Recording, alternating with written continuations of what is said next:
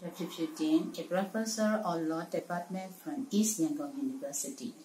I attend Constitution Academy 2015 at Piet Advanced Constitution Academy 2019 at Yangon.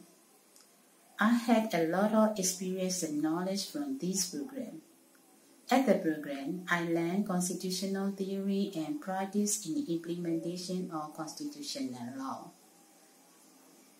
I also learned constitution building, transitional justice, civil, civil, civilian military relations, Fulbright institution.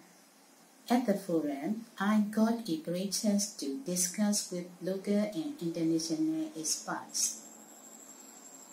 So we discussed current trend in peace process, constitutional forum, constitutional reform, transitional justice, including including gas issue and potential solution.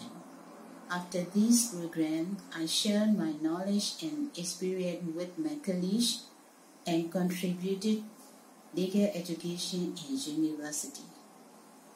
For this reason, the program or IDEA were very useful and benefits for us. So I would like to say thank you very much IDEA.